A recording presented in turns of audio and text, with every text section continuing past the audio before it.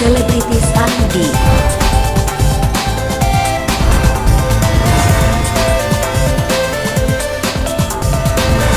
Selebritis ID Bang John itu karena gue main TikTok itu baru di Agustus dan di Januari itu udah mulai lihat tuh uh, konten-kontennya Bang John LBF itu FYP. Jadi gue kepingin kenalan sama namanya Bang John LBF. Kenapa? Karena dia punya visi yang sama sama gue.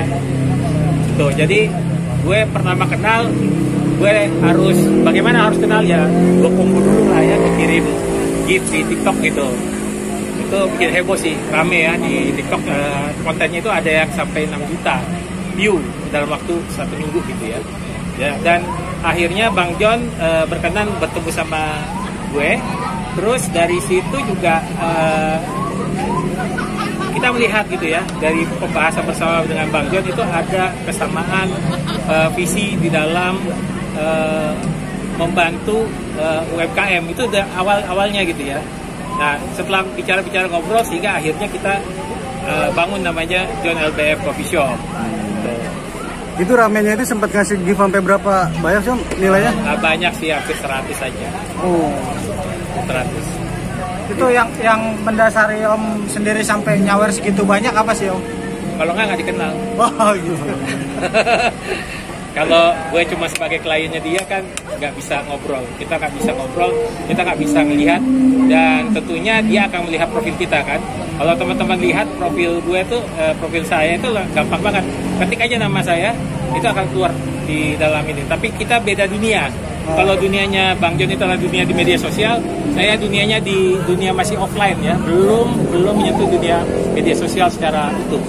Oh, melihat sosok Bang John sendiri gimana nih? Yang dari dulu sampai sekarang sudah sukses apa masih tetap seperti itu? Uh, karena gue pernah mengalami hal yang sama dengan John. Itu aja tuh yang penting dulu bagi teman-teman ya. Jadi gue pernah mengalami hal yang sama persis sama dia dan gue mengalami kesusahan yang sama gitu ya ceritanya hampir mirip cuma rezekinya dia mungkin lebih banyak juga gitu dibandingkan gue gitu ya. Tapi tapi yang jelas adalah bahwa apa yang dia lakukan ini adalah melalui proses kerja keras gitu ya. Kerja keras uh, waktu kita persiapan uh, coffee shop sendiri itu luar biasa. Kita setiap hari jam satu gitu ya dikawal terus sama Bang John ya gitu. Jadi dua minggu. Kita nyiapin dia hanya dua minggu.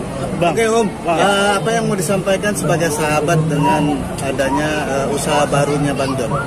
Jadi teman-teman gitu ya, waktu akan membuktikan bahwa siapa pun orang yang berbuat baik akan tetap baik gitu ya. Jadi kalau teman-teman bisa ngelihat kalau kalian itu sejarah di dalam internet kan tidak akan hapus ya gitu ya. Di situ Bang John juga sempat uh, mengalami pertentangan gitu ya. Tetapi bagi saya ada hal yang positif saya ambil. Bahwa semakin tinggi pohon semakin kuat anginnya. Makanya saya tetap yakin enggak ini kita tetap jalan terus. Om Jul katanya rencana ya. mau bikin film ya Bang Bang Jul ya?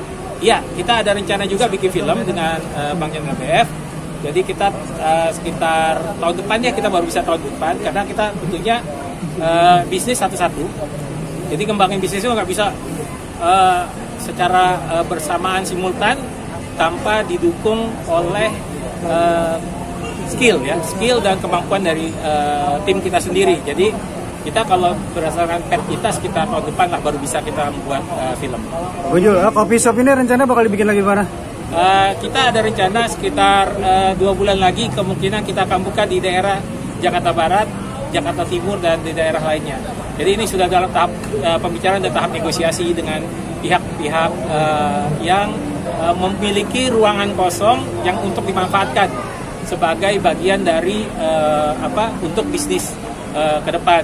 Dan juga buat teman-teman ketahui bahwa John LBF Coffee Shop ini akan kita menjadikan role model untuk uh, pengembangan UMKM terutama dalam hal untuk uh, memberikan edukasi kepada teman-teman UMKM seperti tadi juga sudah ketahui bahwa ada dua UMKM yang sudah tanda tangan MOU sama kita untuk bersama-sama untuk menciptakan UMKM. Turn up, let's go.